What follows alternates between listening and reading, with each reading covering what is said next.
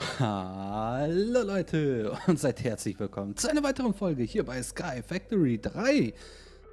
So, das letzte Mal haben wir den schönen... Ah, so. Ah, falsche Richtung. Äh, den schönen äh, Transfer Node gebaut, damit wir unendlich viel Cobblestone hier bekommen. Äh, und sonst weiß ich ehrlich gesagt gar nicht, was noch gemacht wurde. Ja, auf jeden Fall war ich gerade noch vor dieser Aufnahme ein bisschen hier drinne. Habe hier ein bisschen noch was gemacht. Zum einen habe ich ein paar äh, Bäume ge gefällt, um Äpfel zu bekommen, damit ich einen Apfelbaum habe. Der Grund ist, äh, wenn man hier unten bei der Hungerleiste guckt, es ist doch schon ein bisschen knapp. Deswegen möchte ich da mal einen Apfelbaum machen, damit ich dort ordentlich versorgt werde. Äh, zum anderen habe ich auch nochmal ein äh, paar Stones, also ein paar Cobblestones äh, klein gesiebt, äh, klein gesiebt, klein geschlagen. Einmal zu Gravel, einmal zu Dust, einmal zu Sand. Und die möchte ich auch nochmal hier mal durchsieben.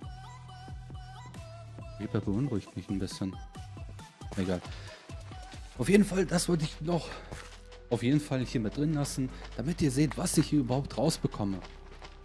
Und damit es hier nicht zu langweilig wird, mache ich hier wieder eine kleine Timelapse rein. Bis gleich.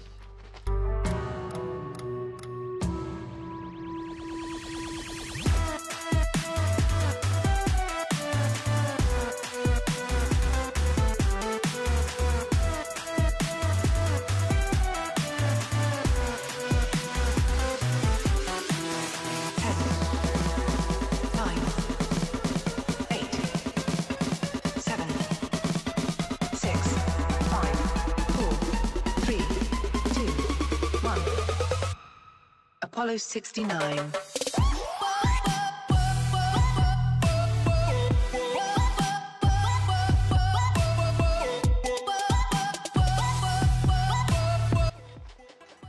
Okay, das war jetzt das letzte Stück.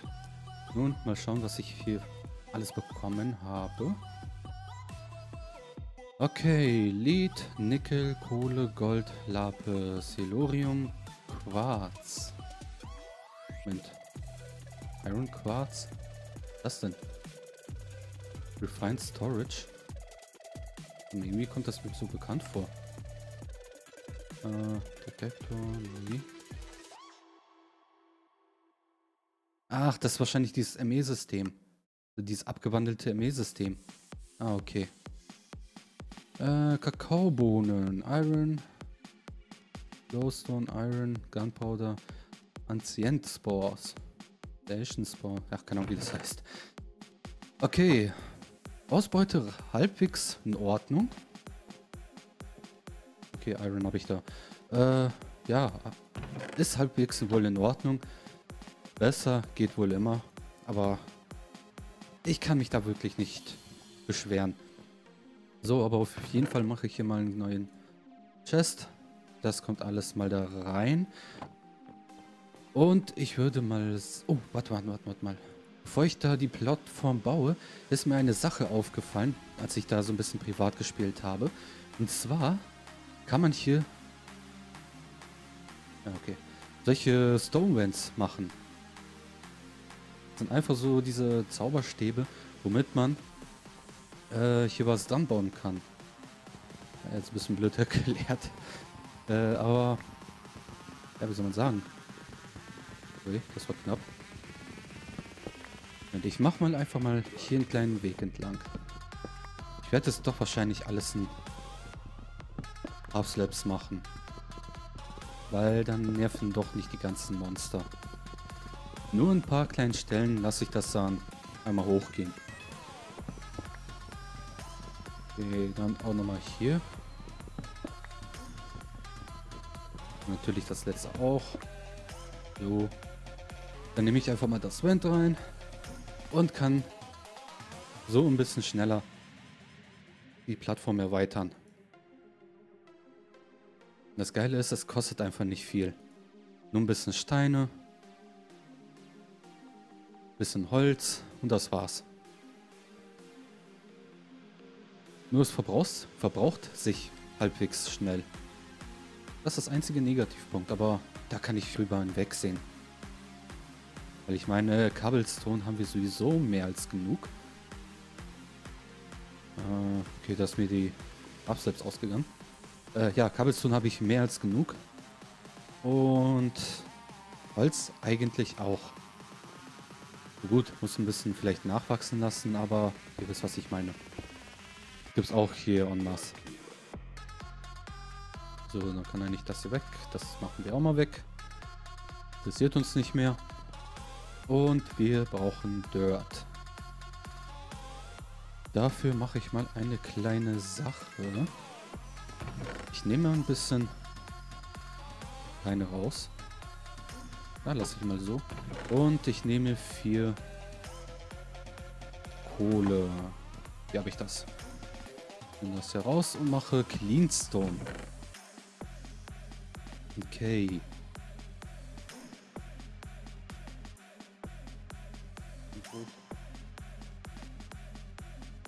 So. In der privaten Welt, also wenn ich so ein bisschen privat hier spiele, oder als ich hier ein bisschen privat gespielt habe, sind mir ein paar Sachen aufgefallen, beziehungsweise ein paar Gegenstände äh, sind mir in, ja, in den Blick gekommen, die mich doch relativ stark gereizt haben. Zum einen sind das die äh, Mystical Crops. Nee, warte mal, wie ist das? Mystical Agrikultur. Das sind einfach solche Pflanzen, mit denen man alles verschiedene hochzüchten kann. Beispielsweise, ja gut, die Standard-Essenzen äh, sind das hier. Diese Inferium-Essenzen kann man hier hochzüchten mit verschiedenen äh, Stärken. Äh, je höher das Tier dort ist, desto mehr geben die ab, wenn man die abbaut. Dann gibt es hier auch nochmal die Sachen, wo ich doch ein bisschen mehr hinarbeiten möchte. Und zwar kann man verschiedene Gegenstände damit wachsen lassen. Zum Beispiel Stone, Dirt, Wood, Eis, Dye, Nether, Iron, also die ganzen Erze kann man hier mit hochzüchten. Und ich finde das schon geil. Aber das große Problem, das große Manke dort ist, dass es sehr aufwendig ist. Ja, okay, aufwendig nicht. Es verbraucht sehr viel Zeit. Ich meine jetzt wirklich sehr, sehr viel Zeit. Ich habe es geschafft, das sowas äh, so weit zu automatisieren, dass ich da eigentlich nicht mehr dran gehen muss. Ich kann auch gleich mal zeigen, wie ich das gemacht habe. Im Groben. Äh, also so ein Harvester, wie es mal, wie man das vielleicht normalerweise kennt. Harvester gibt es hier nicht. Äh, ja, sonst ist mir auch nicht wirklich was bekannt, was man nehmen könnte, äh, um das dort abzugrasen. Okay, es gibt hier wohl ein paar Sachen, Farmer, Farming Station. Da habe ich ehrlich gesagt nie wirklich mitgearbeitet und weiß ehrlich gesagt nicht, wie es, wie es dort ist. Aber ich habe da eine andere Lösung gefunden. Okay, bei der Farming Station kann ich aber mal gucken, wie das dort ist. Muss ich mal in der privaten Welt ausprobieren. Aber ich habe das jetzt anders ein bisschen gelöst und es reicht mir wohl. Dann gibt es noch eine kleine Sache, die ich auf jeden Fall anstreben werde. Und zwar ist es dieser Grove Crystal Tier 2. Zum einen kann man das als Wasserersatz benutzen äh, bei den Pflanzen. Äh, zum anderen verschnellert es den Wachsprozess der Pflanzen enorm. Also ich, ich meine wirklich enorm. Normalerweise würde man da Stunden, gefühlte Stunden lang warten, bis so eine Essenz äh, fertig gewachsen ist. Aber dank diesem Teil äh, dauert das, oh, lass mich lügen, ein paar Sekunden vielleicht. Okay, vielleicht eine Minute ungefähr. So jetzt grobe Richtung. Aber es geht richtig schnell. Wenn man da jetzt nochmal irgendwas anderes äh, bebaut hat, äh, sagen wir mal Weizen oder sowas, ist es innerhalb von wenigen Sekunden schon äh, bereit. Was ultra heftig ist. Und das gibt bei einem 9x9 großen Bereich diesen Effekt ab. Deswegen werde ich dann irgendwo dort, keine Ahnung, wo das, wo es auch mal hinkommt, werde ich dann da was, äh, äh, so, ein, so eine Station machen oder so eine Plattform, wo eben das abgefarmt wird. Ich habe mir noch. Wo es abgefarmt wird. wie das abgefarmt wird, wird mit. Äh, äh, shit. Wie ist das jetzt? Nee, äh... Mist. Äh, warte mal, X. das war auf jeden Fall bei diesem Mod. Ähm.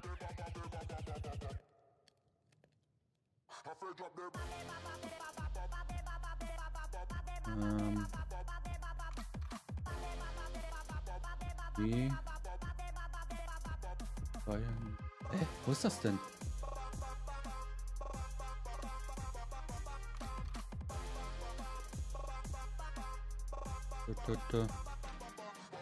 Bin nicht blind gerade. Das ist auch eine, eine, eine nette Sache. Aber in Zukunft habe ich das jetzt nicht geplant, das zu machen. Ich finde einfach dieses Teil nicht.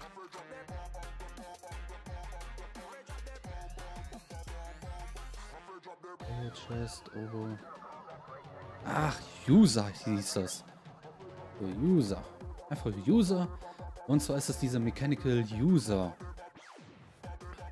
Halbwegs einfach. Ja, okay, einfach nicht wirklich. Äh, denn man braucht hier so einen Ender Shard. Den kriegt man, wenn man Rushed Endstone siebt. Das hat nur gerade mal 2% Chance. Oder man äh, macht das von einer Enderperle mit so einem Glascutter. Äh, Glascutter. Damit man das da bekommt. Auf jeden Fall, diese Maschinen machen einen relativ guten Job. Leider, leider brauche ich dafür noch so eine Art Energie. Äh, Solar. Und zwar werde ich dann diesen Solarpanel hier machen. Denn er hat eine äh, in, ja, Energieform von GP. Und diese Maschine braucht eben diese Energieform. Das ist leider der kleine Negativpunkt. Ja, äh, da gibt es dann noch eine Sache. Und zwar wird er dieses Teil nur so, so gesehen Rechtsklick machen, so wie dieser Autonomous Activator, der auch, lass mich lügen, von Thermal Expansion, glaube ich, ist. Äh, also relativ äh, ähnliche Funktion. Also klickt er dann einfach auf diese äh, Pflanze, Rechtsklick, so gesehen. Das simuliert diesen Rechtsklick. Äh, dann ploppen diese Pflanzen da raus oder die da, was da auch immer rauskommen soll, ploppen dann raus. Und durch einen Hopper durch, durch, durch diesen Absorption Hopper nimmt er diesen Teil auf. Ich sehe gerade. Vakuums ab. 7x7x7 Arena. Okay. Okay, dann müsste ich auch noch mal ein bisschen was überlegen, wie man das am besten macht. Auf jeden Fall, wenn da, wenn diese Crops was rausploppen, da ist nicht zufällig irgendwas, wenn diesen, oh hi.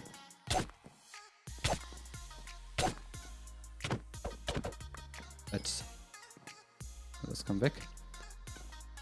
Und zwar, man sieht hier, mit diesen, äh, mit diesen Essenzen wird das hier gemacht. Oh, ich habe schon fünf Stück davon. Nice. Äh, und ich habe den Faden verloren. Ah, wie schnell ging das denn bitte? Äh, Ja, ich habe jetzt den Faden verloren. Ach Mann. Also auf jeden Fall diese Möglichkeit, darauf baue ich jetzt und versuche mich langsam dahin zu arbeiten. Ich werde da ein bisschen viel Offscreen machen, denn das frisst sehr, sehr viel Zeit. Das ist wirklich heftig. Meine Stimme geht auch langsam weg. Äh, ja, andere Sachen, also die eher vor also die Sache, die ich eher jetzt anstreben werde, ist äh, einfach eine Smeltery, beziehungsweise, ja, ja doch ein Smeltery, einfach ein Tinkers Construct. Das ist jetzt erstmal mein Ziel. Ähm, warte, man muss kurz überlegen. Ah, komm, Hälfte weg. Nee, nochmal. Ich werde da nicht viel brauchen. So, dann einmal hier Compressed machen, denn wir brauchen Gravel, Sand und Clay. Ja, Clay ist klar. Mehr oder weniger eigentlich. Äh, vielleicht, wenn, äh, wer das nicht weiß, äh, Clay macht man einfach, wenn man Wasser in diesen Barrel reinmacht und äh, das drüber, also drauf auflegt, drauf, ja, doch drauflegt, da reinlegt, kriegt man eben äh, Clay raus, also diese Clayblöcke. Und bei einem Clayblock kriegt man einfach mal vier Stück raus. Deswegen werden wir da nicht viel brauchen. Äh, warte mal, habe ich das schon gesagt? Da fällt mir gerade was ein. Da fällt mir gerade was ein. Oder soll ich das nächste Folge sagen? Nee, ich werde das, glaube ich, anfangs nächste Folge sagen. Ja, ich werde das nächste Folge sagen. Wir, äh, bezüglich einen hammergeilen Tipp von Zuschauer. Was ich übertrieben feier. Einfach nur übertrieben. So, dann nochmal die hier abbauen. Und ich weiß nicht, ob ihr darauf jetzt geachtet habt. Wahrscheinlich schon. Äh, und zwar habe ich ja mal, meine ich gesagt, nee, habe ich nicht. Äh, ich habe nicht gesagt. Äh, und zwar habe ich eigentlich angenommen, dass es hier kein Weinminer gibt. Äh, für diejenigen, die nicht wissen, was Weinminer ist. Äh, wenn man eine bestimmte Taste drückt und ein Block abbaut, dann baut sich alles ab, was dieselbe ID hat. Sprich also, wenn ich in meinem Fall Ö drücke und hier diesen äh, Slab hier abbauen würde, würde einfach mal rundherum alles mit abgebaut werden. Ich hätte nicht gedacht, dass es hier tatsächlich drinne ist. Aber ja, ist es drinne. Aber es hat einfach einen anderen Namen. Also wurde einfach mal umbenannt. Gut, dass äh, mir jemand das gesagt hat. Weil sonst wäre das hier übel ätzend geworden.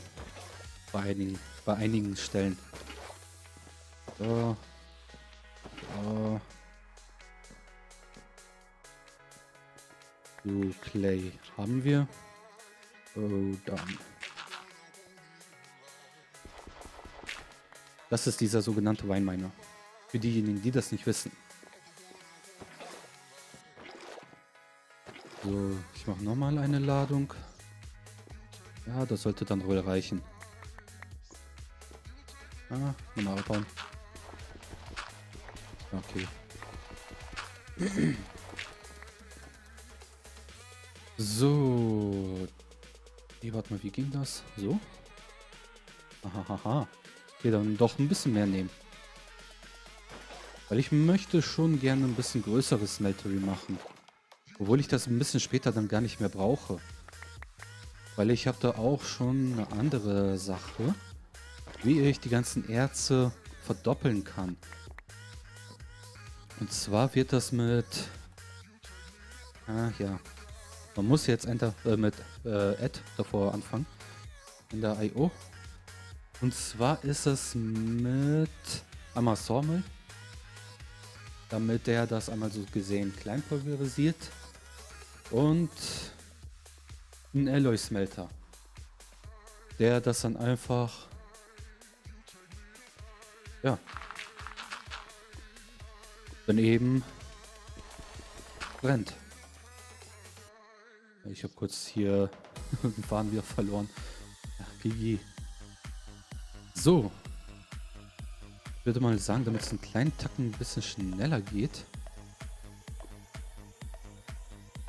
Komm, weg mit dir. Ich habe dich sowieso mehr als genug. Geh, geh. Weg alles. Ich brauche nur einen. So. Schön, dass ich nochmal ein Achievement bekomme. Obwohl ich das schon mal habe. Okay, das will schon mal nicht gehen. Das ist blöd. Ja, mache ich das? Habe eine Idee. Äh, acht. Acht. So, äh, das haben wir hier rein, hier rein, hier rein, hier rein. Und Leute, ich würde mal sagen, das war's jetzt mit dieser Folge. damit ich hier was für ein Thumbnail habe. Es ist nicht viel passiert dieses Mal, habe auch nicht relativ, also nicht viel geschafft, aber dafür habe ich jetzt hier gesagt, was ich hier geplant habe, so für den Anfangsschritt. Auf jeden Fall ist es wirklich nur der Anfang. Es kommt so viele tausend Sachen noch äh, Sachen mit dazu. Okay Leute, ich hoffe euch hat dieser Part gefallen. Würde mich freuen, wenn ihr beim nächsten Part einschalten würdet. Hier bei Sky Factory 3. Bis zum nächsten Mal Leute und ciao.